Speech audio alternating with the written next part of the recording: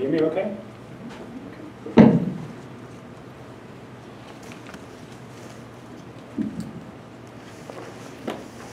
All right. Hello everyone and welcome. Uh, thank you for the introduction. As you've already heard, I'll uh, present our approach to temporally linked news stories. Now, here's what you can expect from the next 25-ish minute, minutes. Um, I'm first going to show you why news stories are becoming increasingly complex and how the inherent temporal structure of news stories can be used to somehow uh, counterbalance this complexity. I will then go on and use this uh, inherent temporal structure to create a network structure of news articles that is temporally ordered. Finally, this network structure will be analyzed, optimized, and evaluated, and I'll sum up and conclude.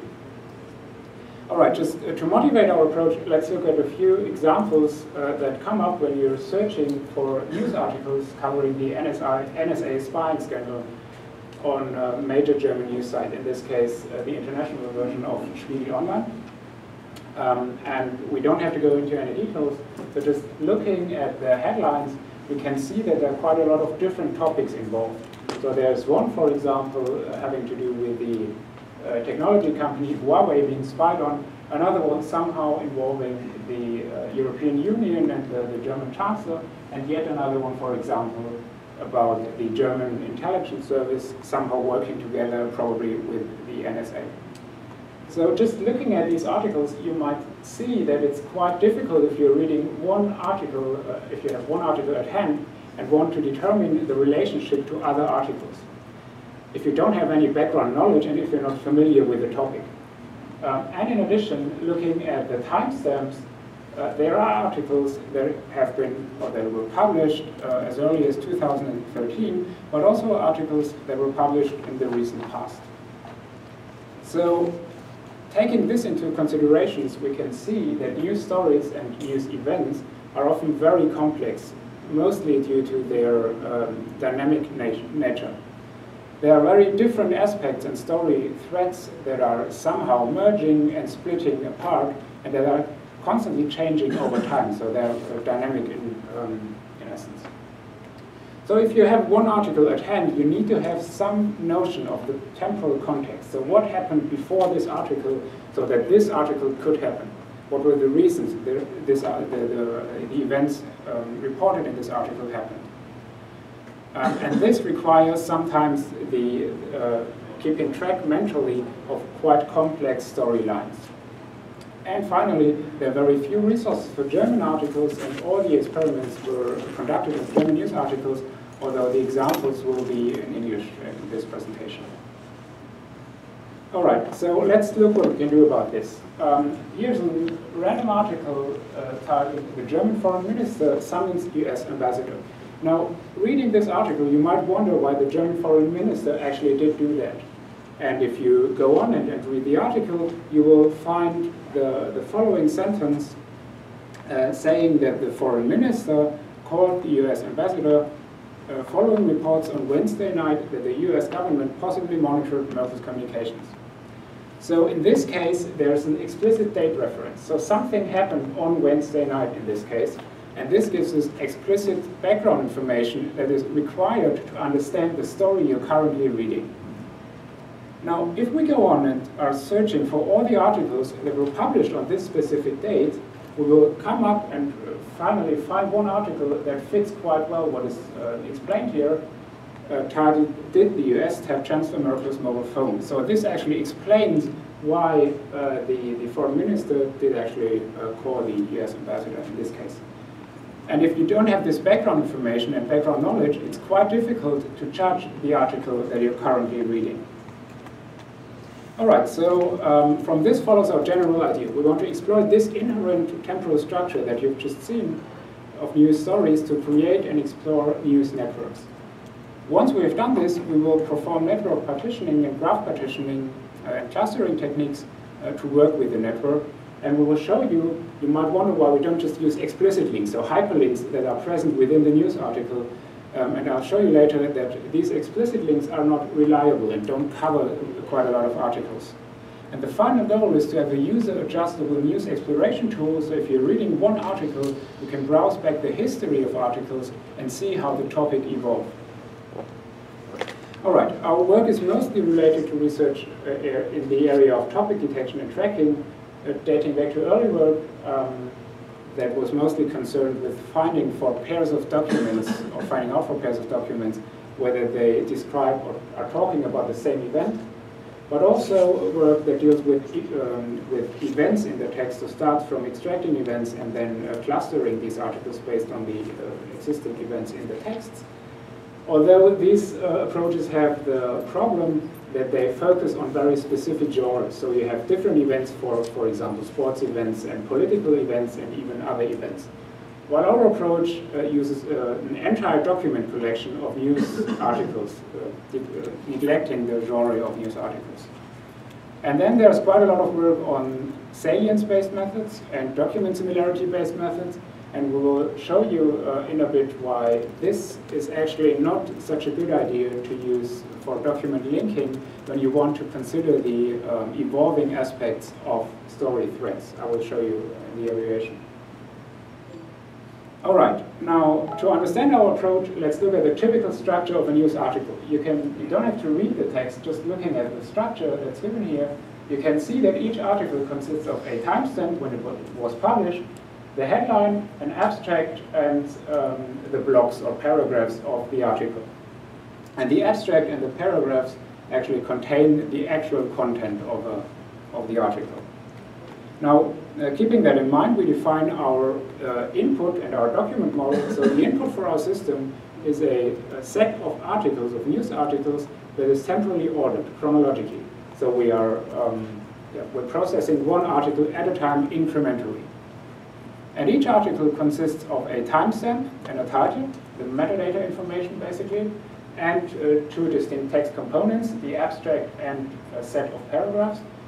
And finally, we define three functions that extract additional information from these text components. One for persons, one for uh, date expressions, and one for keywords. And keywords are just important words that characterize the event that happened in one paragraph or text block. Now I want to emphasize that the timestamps are very important because they anchor the articles on a time scale and they are basically anchors for uh, links that will be created later. I will show an example uh, in a second. And our approach now works basically like this. We first perform pre-processing uh, and process all the articles. Then we link the articles using our temporal linking approach. And finally, we score the links by relevance scores. So let's go through the steps. Just briefly looking at pre-processing, uh, we built a pipeline based on the document processing uh, framework UIMA that is tailored to German news articles and contains multiple components. I'll just men mention these three for the functions mentioned uh, a few seconds ago. Uh, to extract date expressions, we use the temporal tagger HeidelTime. For keyword extraction, we, in this uh, simple setting, we use nouns, adjectives, and verbs in their lemmatized form. And finally, for persons, we're using the Stanford named entity recognizer with the model trained on German news data and perform some basic clustering uh, of, of names to do simple co-reference resolution. All right, so once we have all the articles pre-processed, we go through each article uh, again chronologically, and for each article we extract all the date expressions that are occurring in the article. So in this example here on the right-hand side, you can see an article A, and in this case there's only one uh, date, explicit date expression extracted on Wednesday. Now, this, uh, the, the advantage of, of a temporal tagger we're using is that it not only detects the date expressions, but it also tells us which date this expression actually refers to. So in this case, we will find out that on Wednesday refers to October the 22nd.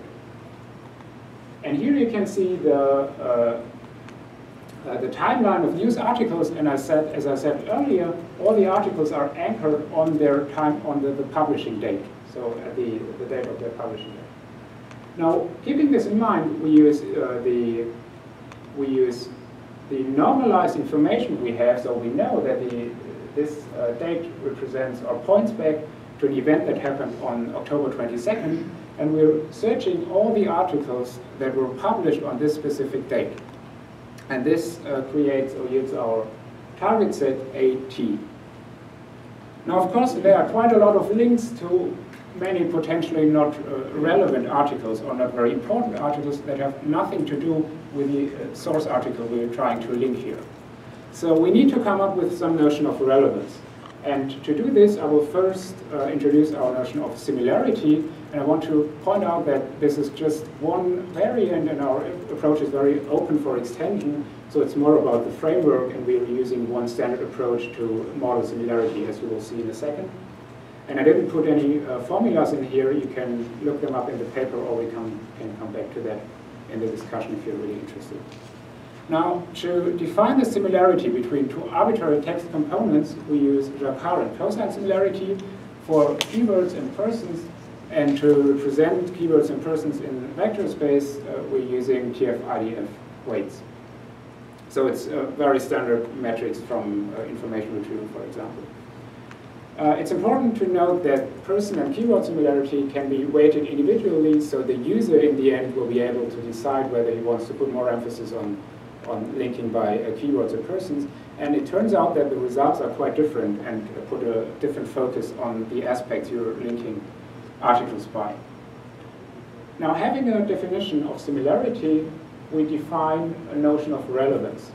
So to determine the relevance between the source article A we want to link and the potential target article A prime uh, that should be linked, so all these articles here are potential target articles, we go through each block in the source articles article that contains the explicit date expression.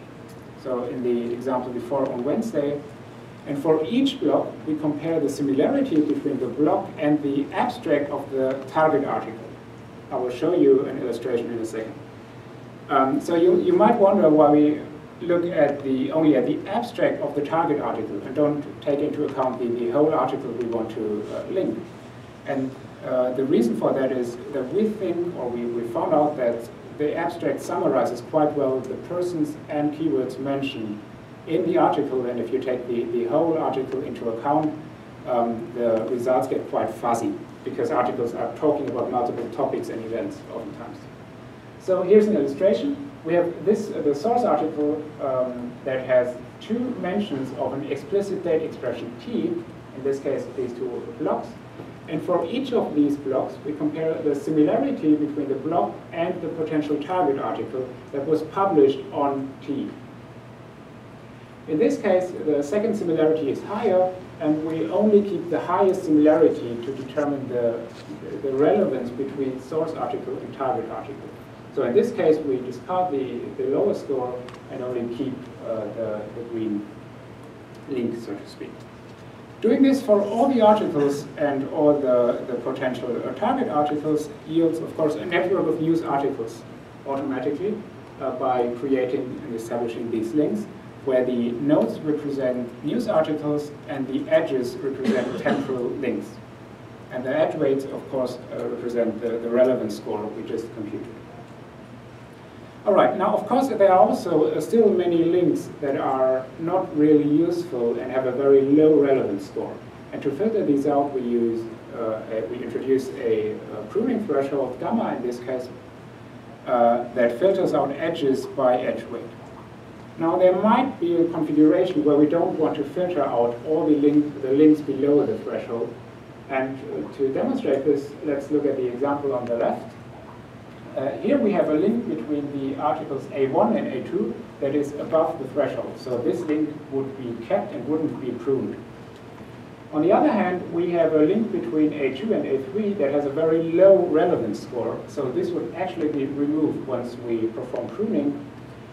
But we do also have an alternative path, as we call it, between A1 and A3, so a, transitive uh, relation that links the, both articles and that is above a threshold. So there's an alternative path how two articles can be linked. And in such a configuration, we, uh, we, we, keep the link between A2 and A3 because we think that A1 and A3 should be connected. And thus, A2 and A3 also should be connected due to transitivity. And whenever we find such a configuration, we block the pruning process. So no matter what, how low the similarity score here is, we will keep it in this case. All right, now that we have defined how we create the network, let's look at the network and perform optimization and uh, play with the data. All the experiments I'll describe uh, in, in, the following are performed on two different data sets. Uh, one uh, that we call NSA is a manually created data set that concerns one specific storyline uh, namely the NSA spying scandal. And we started collecting articles actually from uh, 2013 to the, the recent past. This is an older version of the data set. Uh, and we, when we started uh, collecting the articles, we had no idea that the, yeah, this, um, the, the reports about the, this topic would go on so long. So if we knew that, we would probably have picked another uh, topic. And the other data set is an, uh, a larger data set comprising five major German news sites um, that are just pulled from the RSS feeds and then cleaned through basic um, HTML processing. And there you can see we have much more uh, articles and the topics are very diverse. So we have all the different genres. We don't filter anything except um, ads and, and pictures. Um, but you can see that the data sets are quite different. And we wanted to see how our approach behaves when we have, on the one hand, a very specific topic, and on the other hand, a very broad corpus of news articles. And one important aspect is that over uh, about 70% of all the articles have at least one explicit date expression. Now, if you remember, we use these explicit date expressions to create outgoing links. So about 70% can be linked with this approach. All right, now um, we want to study, we want to see how the pruning threshold actually uh, uh, actually uh, changes the data. For that, we look at the uh, development of the nodes and edges in the data using a different pruning threshold. And as we can see, when we increase the pruning threshold and we, are, uh, we use the average similarity that is indicated by the dashed line here, we lose about 70% of all the weak, weak edges, but we only lose about 6% of the nodes. So after each pruning step, we also remove all the nodes that are then unconnected. So this tells us that we can uh, remove much of the noise in the data without losing many information because most of the articles are still linked. All right, now we have an, um, a news network, a network that still consists of about 11,000 nodes and 180,000 edges, so we need to come up with some way of organizing this. And our first approach was to use connected components, a standard metric in, in uh, graph processing, which didn't work out so well, so we performed community detection, um, which is used in social network analysis, for example, and this yields 106 communities, clusters, and the largest community has about 105 nodes on the large data set. Now you might wonder why we don't just use models based on document similarity or topic modeling uh, to cluster our data. And here's why. If you look at one story thread that is extracted by performing our linking approach and community detection, um, and you look at the average similarity between all the articles, depending on the time spent between the articles, you can see that if the articles are published on the same date, the similarity is very high. And the longer the time span, the lower the similarity score between the articles. So just relying on document similarity doesn't really capture the evolving aspects of our story threads um, and would yield topically very highly related and dense clusters. And in addition, it would ignore the network structure, as you can see here. So on the left-hand side, we perform uh, topic modeling, and on the right-hand side, community detection um, on our data. And while on the left-hand side, the picture is much more colorful and beautiful to look at, on the right-hand side, community detection much better captures the dynamics in our data. All right, so um, performing evaluation is not that easy because there's no gold standard. So it's not uh, clear how to actually link articles without doing user studies. So one way, uh, one evaluation we performed is to use explicit links, so hyperlinks in the articles as a gold standard and see how our approach compares to these explicit links. Now, one thing that stands out here is that explicit links only cover about one third of all the articles. So only 30% of the articles are linked by explicit hyperlinks, while our approach is able to link about 80% of all the articles. In addition, uh, explicit hyperlinks mostly uh, remain in the same news outlet, so they don't link to other news outlets, while our approach is much more balanced and creates links across different news outlets. And finally, we wanted to see how many of the links can be, uh, of the explicit links can be recreated when we use our temporal linking approach. And we found out that we can uh, recreate about 83% of all the links, of all the explicit hyperlinks with our, um, with our temporal linking approach. Now, one thing I want to show you is the, uh, whether this tool can actually be used as a news uh, as a news exploration tool and what advantage our news structure has. So it's not all about the linking itself, it's more about the temporal network of news, news articles. And here you can see one overview article uh, for, um, for the, the article timeline of a scandal in this case. Um, and if you're reading this article, the following timeline is proposed to you. So it's dating back to uh, to the, the beginning of the scandal, and it covers all the different stages here, just mentioned a few, that uh, this article refers to. So it's an overview article, and the structure of the whole event in this case, of the whole topic, is uh, represented quite nicely. And this is the advantage you get when you perform temporal linking instead of just linking by document similarity, because this article actually consists of many different aspects of a complex storyline. All right, so to sum up, I uh, presented a flexible and incremental system for linking news articles um, that is open for extension. So the similarity metrics I showed you here are just an example, um, and we're currently working on uh, adding new similarity metrics and more advanced techniques. Comparing our approach to explicit links shows that we have a promising recall and a much better coverage and also uh, a broader coverage due to our linking to different news outlets. And for future work, we are mostly focused now on statistical backoff because uh, as, you, as, you, saw when you paid attention uh, earlier, about only 70% of all the articles contain uh, explicit data expressions. So what about the remaining 30%? Uh, they couldn't be linked at the moment with our approach, so we want to implement a statistical backoff approach that still puts the majority of the weight on our temporal linking approach, but allows for a fallback option based on document similarity if we have no other option. And finally, we want to enrich our network structure with persons mentioned in the article uh, to get more knowledge about the evolution of stories and the persons involved with it.